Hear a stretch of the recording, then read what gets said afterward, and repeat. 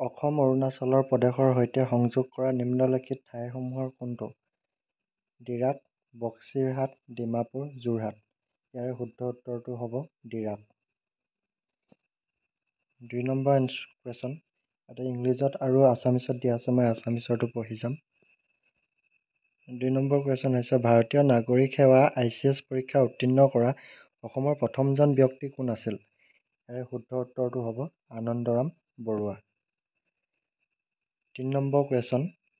প্ৰত্যেক কাৰ্যৰ এজন সমান আৰু বিপৰীত ক্ৰিয়া থাকে।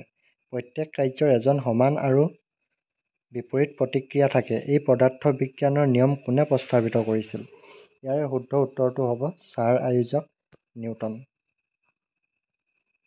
Next question জিম্বাবুৱেৰ ৰাজধানী চহৰ কি? জিম্বাবুৱেৰ ৰাজধানী চহৰ হাৰাৰ হাৰাৰ। নেক্সট কুৱেশ্যন সংযুক্ত আৰৱ অমিৰাতৰ মুদ্ৰা কি? অৰ্থাৎ ইউ এ ই মুদ্ৰা কি? ইউ এ ইৰ মুদ্ৰা হৈছে দিৰহাম। ভাৰতীয় সংবিধানৰ জনক বুলি কাক জনা যায়? ভাৰতীয় সংবিধানৰ জনক বুলি বি আৰ আম্বেদকাৰক জনা যায়। নেক্সট কুৱেশ্যন কোনটো গ্ৰহ ৰঙা ৰঙা গ্ৰহ হিচাপে জনা যায়? কোনটো গ্ৰহ ৰঙা গ্ৰহ হিচাপে জনা যায়? এইটো একেবাৰে সাধাৰণ কুৱেশ্যন মংগল গ্ৰহক আমি সকলোৱে জানো মংগল গ্ৰহক ৰঙা গ্ৰহ হিচাপে জনা যায়। টেলিফোন কোনে আৱিষ্কাৰ কৰিছিল? টেলিফোন আৱিষ্কাৰ কৰিছিল Alexander Graham Bell. Next question ভাৰতৰ বৰ্তমান প্ৰধানমন্ত্ৰী কোন? ভাৰতৰ বৰ্তমান প্ৰধানমন্ত্ৰী হৈছে নৰেন্দ্ৰ মোদী। ভাৰতে কোন চনত স্বাধীনতা লাভ কৰিছিল? ভাৰতে স্বাধীনতা লাভ কৰিছিল ঊনৈছশ ফৰ্টি ছেভেনত স্বাধীনতা লাভ কৰিছিল। বিশ্বৰ আটাইতকৈ দীৰ্ঘতম নদী বিশ্বৰ আটাইতকৈ দীৰ্ঘতম নদী হৈছে নাইল। নেক্সট কুৱেশ্যন মহাকাশলৈ যোৱা প্ৰথমগৰাকী মহিলা কোন আছিল? মহাকাশলৈ যোৱা প্ৰথমগৰাকী মহিলা আছিল ভেলেণ্টিনা টেৰেস্কোভা নেক্সট কুৱেশ্যন ভাৰতীয় ৰাষ্ট্ৰীয় ফুলটো কি? ভাৰতীয় ৰাষ্ট্ৰীয় ফুলটো হৈছে পদুম ফুল অৰ্থাৎ ইয়াত পদ্ম বুলি দিয়া আছে পদ্ম মানে পদুম। নেক্সট কুৱেশ্যন ভাৰতৰ ৰাষ্ট্ৰীয় সংগীত কোনে লিখিছিল? ভাৰতীয় ৰাষ্ট্ৰীয় সংগীত লিখিছিল Rabindranath Thakur. Next question penicillin কোনে আৱিষ্কাৰ কৰিছিল? পেনিচিলিন আৱিষ্কাৰ কৰিছিল আলেকজেণ্ডাৰ ফ্লেমিং। নেক্সট কুৱেশ্যন বিশ্বৰ বিশ্বৰ আটাইতকৈ ডাঙৰ মহাদেশ কোনটো? বিশ্বৰ আটাইতকৈ ডাঙৰ মহাদেশ হৈছে এছিয়া। ভাৰতৰ প্ৰথমগৰাকী ৰাষ্ট্ৰপতি কোন আছিল? ভাৰতৰ প্ৰথমগৰাকী ৰাষ্ট্ৰপতি আছিল ডক্টৰ ৰাজেন্দ্ৰ প্ৰসাদ। পৃথিৱীৰ আটাইতকৈ ডাঙৰ মহাসাগৰখনৰ নাম কি? পৃথিৱীৰ আটাইতকৈ ডাঙৰ মহাসাগৰখনৰ নাম হৈছে প্ৰশান্ত মহাসাগৰ। নেক্সট কুৱেশ্যন প্ৰকাশ সংশ্লেষণৰ প্ৰক্ৰিয়াৰ বাবে কোন উৎপাদানৰ প্ৰয়োজন? কাৰ্বন ডাই অক্সাইড প্ৰকাশ সংশ্লেষণ প্ৰক্ৰিয়াৰ বাবে কাৰ্বন ডাই অক্সাইড প্ৰয়োজন। নেক্সট কুৱেশ্যন ভাৰতৰ মিছাইল মেন বুলি কাক জনা যায়? ভাৰতৰ মিছাইল মেন বুলি কাক জনা যায়? এ পি জে আব্দুল কালামক ভাৰতৰ মিছাইল মেন বুলি জনা যায়। পৃথিৱীৰ বায়ুমণ্ডলত আটাইতকৈ বেছি পৰিমাণে পোৱা গেছ কোনটো? পৃথিৱীৰ বায়ুমণ্ডলত আটাইতকৈ বেছি পৰিমাণে পোৱা গেছটো হৈছে নাইট্ৰজেন। নেক্সট কুৱেশ্যন অলিম্পিক পদত জয় কৰা প্ৰথমগৰাকী ভাৰতীয় মহিলা কোন আছিল? অলিম্পিক পদত জয় কৰা প্ৰথমগৰাকী ভাৰতীয় মহিলা আছিল কৰ্ণাম মল্লেশ্বৰী। নেক্সট কুৱেশ্যন তাপমাত্ৰা মাপিবলৈ কোন যন্ত্ৰ ব্যৱহাৰ কৰা হয়? তাপমাত্ৰা মাপিবলৈ thermometer. Next question the origin of speech নামৰ বিখ্যাত কিতাপখন কোনে লিখিছিল? Charles Darwin. কোন দেশক উদীয়মান সূৰ্যৰ দেশ বুলি জনা যায়? কোন দেশক উদীয়মান সূৰ্যৰ দেশ বুলি জনা যায়? জাপানক উদীয় উদীয়মান সূৰ্যৰ দেশ বুলি জনা যায়। কোনটো গ্ৰহ পৃথিৱীৰ যমজ বুলি জনা যায়? কোনটো গ্ৰহ পৃথিৱীৰ যমজ বুলি জনা যায়? শুক্ৰ গ্ৰহক পৃথিৱীৰ যমজ বুলি জনা যায়। ভাৰতৰ প্ৰথম প্ৰধানমন্ত্ৰী কোন আছিল? ভাৰতৰ প্ৰথম প্ৰধানমন্ত্ৰী আছিল জৱাহৰলাল নেহেৰু। নেক্সট কুৱেশ্যন কোনখন ভাৰতীয় ৰাজ্যক পাঁচ নদীৰ দেশ বুলি জনা যায়? কোনখন ভাৰতীয় ৰাজ্যক পাঁচ নদীৰ দেশ বুলি জনা যায়? পঞ্জাৱক ভাৰতীয় পাঁচ নদীৰ দেশ বুলি জনা যায়। নেক্সট কুৱেশ্যন ঔ সংকেতৰ দ্বাৰা কোনটো ৰাসায়নিক উৎপাদন প্ৰতিনিধিত্ব কৰা হয়? ঔ সংকেতৰ দ্বাৰা কোনটো ৰাসায়নিক উৎপাদনক প্ৰতিনিধিত্ব কৰা হয়? অক্সিজেনক অৰ্থাৎ অক্সিজেনক ঔ বুলি জনা যায়। নেক্সট কুৱেশ্যন পৃথিৱীৰ আটাইতকৈ কঠিন প্ৰাকৃতিক পদাৰ্থটো কি? এইটো সকলোৱে জানো আমি। পৃথিৱীৰ আটাইতকৈ কঠিন প্ৰাকৃতিক পদাৰ্থটো হৈছে হীৰা। মানুহৰ দেহৰ কোনটো অংগটো ৰক্ত পাম কৰিবলৈ দায়ী? হৃদয়। অৰ্থাৎ আমি সদায় এইটো মনত ৰাখিব লাগিব যে মানুহৰ দেহৰ হৃদয়টো হৈছে ৰক্ত পাম কৰিবলৈ জৰুৰী। নেক্সট কুৱেশ্যন সমুদ্ৰ পৃষ্ঠত পানী উতলা বিন্দু কিমান? সমুদ্ৰ পৃষ্ঠত পানী উতলন বিন্দু কিমান? কিমান ডিগ্ৰী চেলচিয়াছ লাগে? এশ ডিগ্ৰী চেলচিয়াছ হ'লে মানে সমুদ্ৰ পৃষ্ঠত পানী উতলে। নেক্সট কুৱেশ্যন কোনটো জন্তুটোক মৰুভূমিৰ জাহাজ বুলি জনা হয়?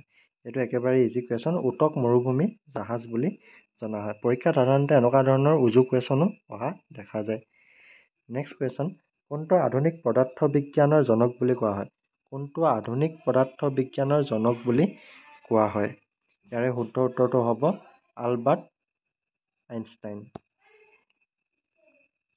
নেক্সট কুৱেশ্যন মানৱ দেহত সূৰ্যৰ পোহৰৰ পৰা কোনটো ভিটামিন পোৱা হয়? Vitamin D. অৰ্থাৎ ভিটামিন ডি মানৱ দেহত পোৱা যায় সূৰ্যৰ ৰশ্মিৰ পৰা। নেক্সট কুৱেশ্যন আমাৰ সৌৰজগতৰ আটাইতকৈ সৰু গ্ৰহ কোনটো? আমাৰ সৌৰজগতৰ আটাইতকৈ সৰু গ্ৰহ হৈছে বুধ। নেক্সট কুৱেশ্যন বাল্বৰ আৱিষ্কাৰ কোন? বাল্বৰ আৱিষ্কাৰ হৈছে থমাছ এডিছন। বাল্বৰ আৱিষ্কাৰ হৈছে থমাছ এডিছন। বিশ্বৰ আটাইতকৈ ডাঙৰ স্তন্যপায়ী কোনটো? বিশ্বৰ আটাইতকৈ ডাঙৰ স্তন্যপায়ী হৈছে নীলাতিমি নেক্সট কুৱেশ্যন পৃথিৱীৰ জীৱনৰ বাবে প্ৰধান শক্তিৰ উৎস কি? পৃথিৱীৰ জীৱনৰ বাবে প্ৰধান শক্তিৰ উৎস কি? সূৰ্য। মধ্যাকৰ্ষণ শক্তি কোনে আৱিষ্কাৰ কৰিছিল? মধ্যাকৰ্ষণ শক্তি আৱিষ্কাৰ কৰিছিল sir Isaac Newton. Next question কোন দেশৰ পৰা কোন দেশৰ পৰা যুক্তৰাষ্ট্ৰলৈ মূৰ্তি অৱ লিবাৰ্টি উপহাৰ হিচাপে দিয়া হৈছিল? ইয়াৰে শুদ্ধ উত্তৰটো হ'ব ফ্ৰান্স। ফ্ৰান্স দেশৰ পৰা যুক্তৰাষ্ট্ৰলৈ মূৰ্তি অৱ লিবাৰ্টি উপহাৰ হিচাপে দিয়া হৈছিল।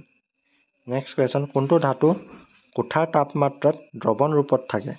কোনটো ধাতু কোঠাৰ তাপমাত্ৰাত দ্ৰৱণ ৰূপত থাকে? পাৰা পাৰাটো কোঠাৰ ধাতু কোঠাৰ তাপমাত্ৰা দ্ৰৱণ ৰূপত থাকে। নেক্সট কুৱেশ্যন মহাকাশলৈ যোৱা প্ৰথমজন মানুহ কোন আছিল? এই মহাকাশলৈ যোৱা প্ৰথমজন মানুহ আছিল ইউৰি গগৰিন সোণৰ ৰাসায়নিক সংকেত কি? সোণৰ ৰাসায়নিক সংকেত হৈছে এ ইউ এ ইউ মানে হ'ল সোণ। তাৰ ৰাসায়নিক সংকেত সোণ।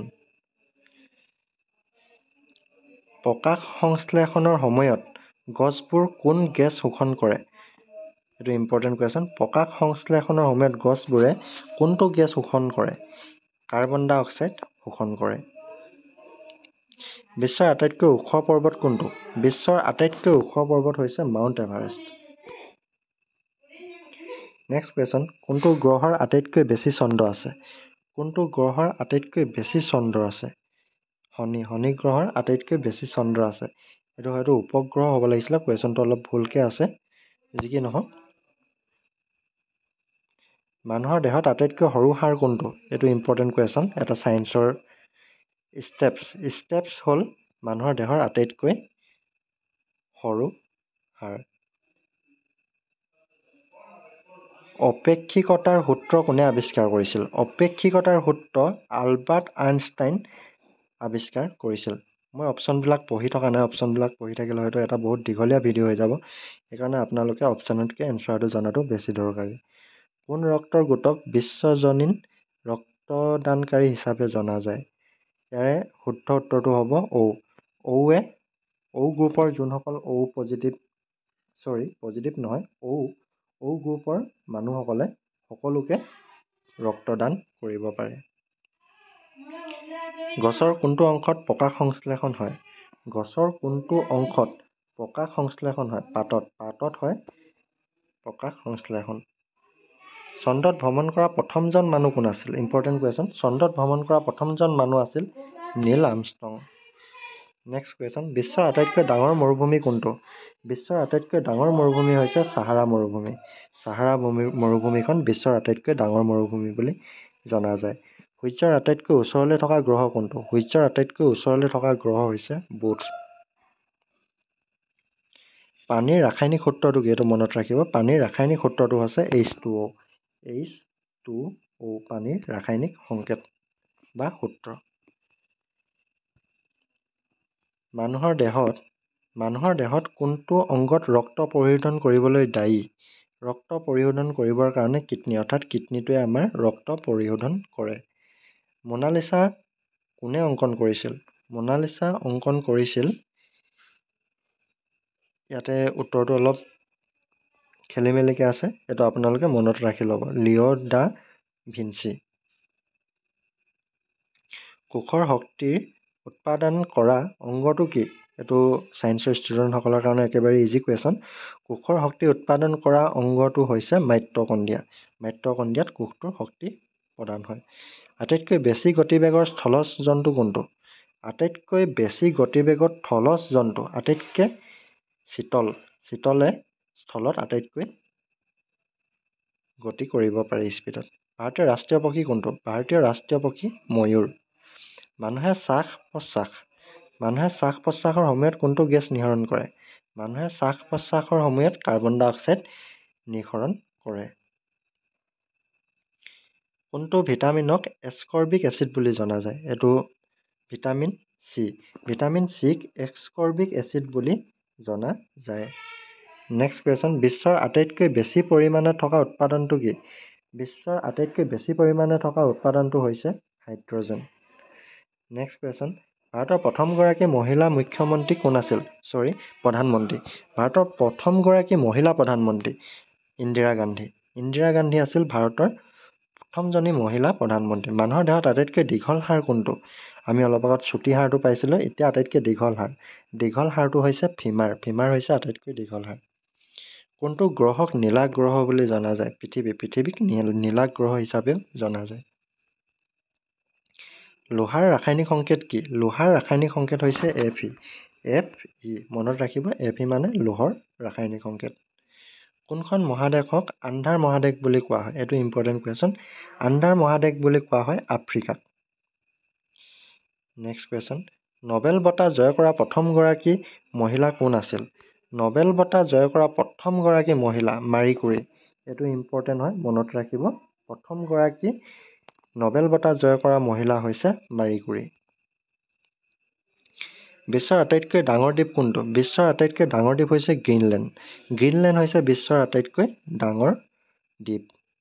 তাৰপিছত নেক্সট আহিলে পোহৰৰ বেগ কিমান? এনেকুৱা ধৰণৰ কুৱেশ্যনবিলাক অহা দেখা যায়। পোহৰৰ বেগ হৈছে three into ten to three power eight metre second next question মানুহৰ দেহত ইনচুলিন উৎপাদন কৰিবলৈ কোন অংগ দায়ী? মানুহৰ দেহত ইনচুলিন ইনচুলিনৰ অভাৱত আমাৰ ডায়েবেটিছ ৰোগ হয়। অগ্ন্যাশয়ে আমাৰ দেহত ইনচুলিন উৎপন্ন কৰে। মানুহৰ দেহত আটাইতকৈ অভ্যন্তৰীণ অংগ কোনটো? মানুহৰ দেহৰ আটাইতকৈ ডাঙৰ অভ্যন্তৰীণ অংগ? যকৃত যকৃত হৈছে মানুহৰ দেহৰ আটাইতকৈ ডাঙৰ অভ্যন্তৰীণ অংগ। দ্য থিয়ৰী অফ এভাৰিথিং কিতাপখনৰ লেখক কোন? ইয়াৰ লেখক হৈছে ষ্টিফেন হকিং। সূৰ্যৰ প্ৰধান উৎপাদন কি? সূৰ্যৰ প্ৰধান উপাদান হৈছে হাইড্ৰজেন। এইটো ইম্পৰ্টেণ্ট সূৰ্যৰ প্ৰধান ইম্পৰ্টেণ্ট প্ৰধান উপাদান হৈছে হাইড্ৰজেন। ক্ষেত্ৰফলৰ বিচাৰক বিশ্বৰ আটাইতকৈ সৰু দেশ কোনটো? ক্ষেত্ৰফলৰ বিচাৰত। বিশ্বৰ আটাইতকৈ সৰু দেশ হৈছে ভেটিকান চিটি ভেটিকান চিটিখন হৈছে বিশ্বৰ আটাইতকৈ সৰু দেশ।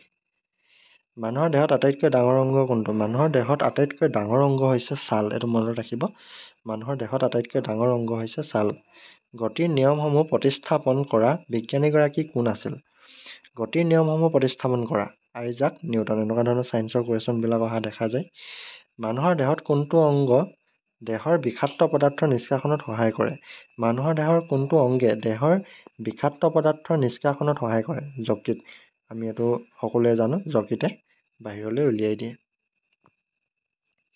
আধুনিক ৰাসায়নৰ জনক বুলি কোনে জনাজাত? আধুনিক ৰাসায়নৰ জনক বুলি ইয়াতে শুদ্ধ উত্তৰটো হ'ব। এণ্টুৱাইন লাভাইজিয়ে এণ্টুৱাইন লাভাইজিয়ে হৈছে। ইয়াৰ শুদ্ধ উত্তৰ। নেক্সট কুৱেশ্যন মানুহৰ দেহৰ কোনটো অংগ প্ৰধানকৈ হজমৰ প্ৰক্ৰিয়া ঘটে? এইটো আমি সকলোৱে জানো পেটে। ইয়াত অপশ্যনৰ ভিতৰত এনচাৰটো হ'ব পেট। নেক্সট কুৱেশ্যন এনে ৰাসায়নিক সংকেতৰ উপা উপাদানটো কি? এনে ৰাসায়নিক সংকেতৰ উপাদানটো হৈছে ছডিয়াম। ছডিয়ামটোক আমি এনে বুলি কওঁ। নেক্সট কুৱেশ্যন সৌৰজগতৰ আটাইতকৈ গৰম গ্ৰহ। এইটো ইম্পৰ্টেণ্ট কুৱেশ্যন শুক্ৰ। শুক্ৰটো হৈছে সৌৰজগতৰ আটাইতকৈ গৰম গ্ৰহ। বলৰ এচা একক কি? বলৰ এচা একক হৈছে নিউটন। নেক্সট কুৱেশ্যন কোনে পেলিঅ' টিকা বিকাশ কৰিছিল? জনাছ চাল্ক পেলিঅ'ৰ টিকা বিকাশ কৰিছিল জনাল ৰাখছে মানুহৰ শ্বাস প্ৰশ্বাসৰ বাবে কোনটো গেছ অত্যাৱশ্যক? মানুহৰ শ্বাস প্ৰশ্বাসৰ কাৰণে অক্সিজেনটো আটাইতকৈ প্ৰয়োজনীয়। আমাৰ সৌৰজগতৰ আটাইতকৈ ডাঙৰ গ্ৰহ কোনটো? আমাৰ সৌৰজগতৰ আটাইতকৈ ডাঙৰ গ্ৰহ হৈছে বৃহস্পতি। গছপুলিয়ে কোন প্ৰক্ৰিয়াৰ জৰিয়তে খাবাৰ তৈয়াৰ কৰে? গছপুলিয়ে। এইটো ইম্পৰ্টেণ্ট কুৱেশ্যন প্ৰকাশ সংশ্লেষণৰ জৰিয়তে। নবেল বঁটা পোৱা প্ৰথমগৰাকী ভাৰতীয় কোন আছিল? নবেল বঁটা পোৱা প্ৰথমগৰাকী ভাৰতীয় ৰবীন্দ্ৰনাথ ঠাকুৰ। পৃথিৱীৰ বায়ুমণ্ডলত প্ৰধানকৈ পোৱা যায় কোনটো গেছ? পৃথিৱীৰ বায়ুমণ্ডলত নাইট্ৰজেন প্ৰধানকৈ পোৱা যায়। গছৰ কোনটো অংশ মাটিৰ পৰা পানী শোষণ কৰিবলৈ দায়ী? মূৰ। প্ৰকাশ সংশ্লেষণৰ সময়ত গছৰ দ্বাৰা কোনটো গেছ ব্যৱহাৰ কৰা হয়? প্ৰকাশ সংশ্লেষণৰ সময়ত গছ গছৰ দ্বাৰা কাৰ্বন ডাই অক্সাইড ব্যৱহাৰ কৰা হয়। নেক্সট কুৱেশ্যন পৃথিৱীৰ আটাইতকৈ কঠিন প্ৰাকৃতিক পদাৰ্থ কোনটো? পৃথিৱীৰ আটাইতকৈ কঠিন প্ৰাকৃতিক পদাৰ্থ হৈছে হীৰা। মানৱ দেহৰ কোনটো অংশত মূলতঃ ৰক্তপাম কৰিবলৈ দায়ী? হৃদয়। পৃথিৱীৰ আটাইতকৈ সৰু একক কি চৰি জীৱনৰ। জীৱনৰ আটাইতকৈ সৰু একক কি? কোষ। কোষ হৈছে জীৱনৰ আটাইতকৈ সৰু একক। নেক্সট কুৱেশ্যন কোনটো গ্ৰহক প্ৰভাৱী তৰা বুলি জনা যায়? এইটো ইম্পৰ্টেণ্ট কুৱেশ্যন শুক্ৰ গ্ৰহক প্ৰভাৱী তৰা বুলি জনা যায়। তাৰে নেক্সট কুৱেশ্যন হৈছে নাইণ্টি ছেভেন নম্বৰ কুৱেশ্যন শুদ্ধ পানীৰ পি এইচৰ মান কিমান? ছেভেন ছেভেন হৈছে শুদ্ধ পানীৰ পি এইচ এইটো মনত ৰাখিব। Next question ninety eight number question মানুহৰ দেহত কোন অংগে পিত্ত উৎপন্ন কৰে? মানুহৰ দেহত যকৃতে পিত্ত উৎপন্ন কৰে। টেলিফোনৰ জনক বুলি কাক কোৱা হয়? টেলিফোনৰ জনক বুলি আলেকজাণ্ডাৰ গ্ৰাহাম বেলক টেলিফোনৰ জনক বুলি কোৱা হয়।